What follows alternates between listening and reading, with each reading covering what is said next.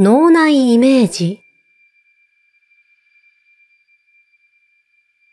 一昨年くらいの出来事。家族で祖母の墓参りに行く予定だったんだけど、自分は行けなくなってしまい、仕方ないから外出先で一人手を合わせていた。気持ちだけでも墓参りをと思い、目を閉じてばあちゃんの墓を思い浮かべてたんだけど、何やら墓の前に動く影がある。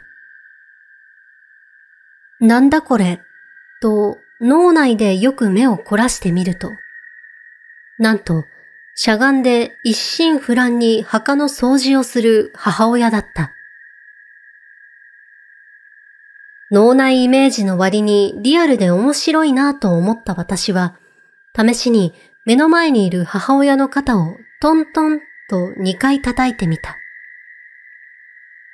すると、母親がぐわっと動き、その瞬間、一気に現実へと引き戻された。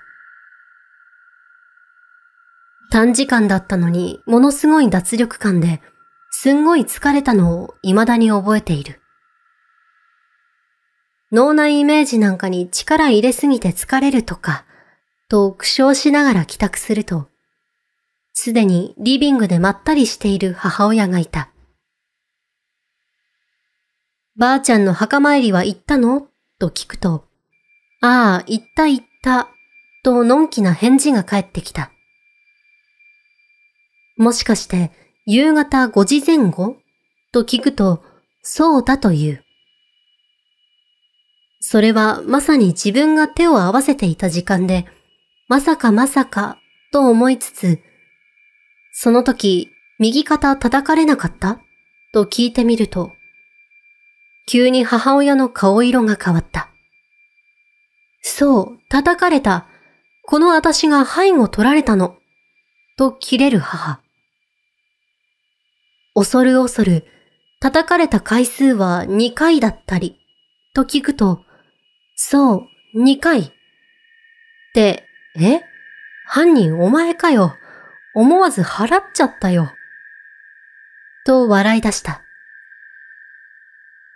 何でも、掃除中にいきなり背後に立たれる気配を感じ、肩を叩かれたもんだから、思わず誰だ？と振り返ったけど、後ろには誰もおらず、すでに気配も消えていたらしい。幽体離脱なのか何なのかわからないけど、とても不思議な体験でした。それにしても、うちの母親、実の娘まで払うとは容赦ないっす。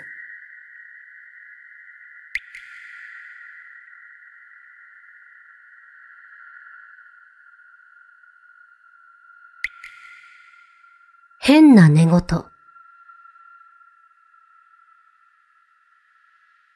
かなり昔の話。夜中、リビングで寝ていた母が寝言を発した。最初は、またいつものかと思って気にも留めていなかったのだが、なかなか寝言が止まらなかった。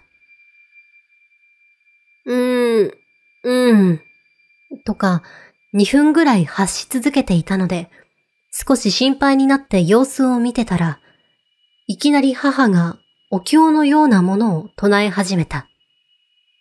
寝ている状態で。俺の家は別に仏教とかそういうものとは一切関わりがないのに、なんで母がお経を唱えているのか。呆然としていたら、隣の部屋で寝ていた姉までお経のようなものを唱え始めたので、マジで怖くなった。しばらくして、二人の寝言は、ほとんど同時くらいにピタリと止んだ。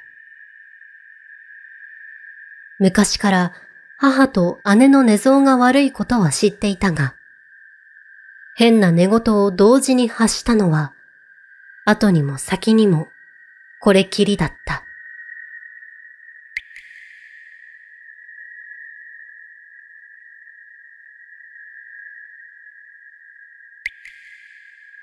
待ち続ける。祖父から聞いた話なのですが、祖父がまだ20代の頃住んでいた賃貸アパートの話です。そこのアパートは、寝室は和室で、隣の居間と襖で繋がっていたそうです。ある夜寝ていたら、突然金縛りに遭い、スパーンと襖が開いたのです。そこにはガリガリに痩せた女が正座しており、赤ん坊を抱いて髪の毛をパサッパサッと揺らしていました。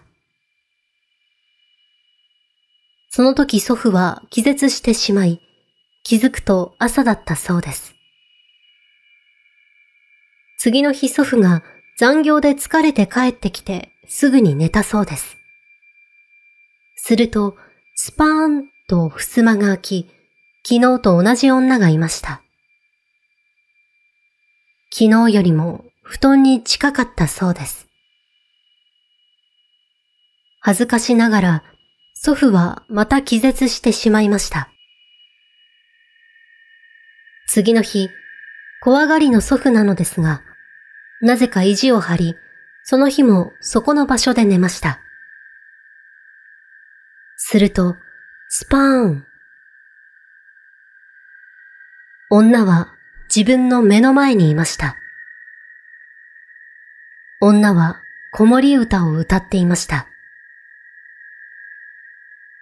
その直後、季節。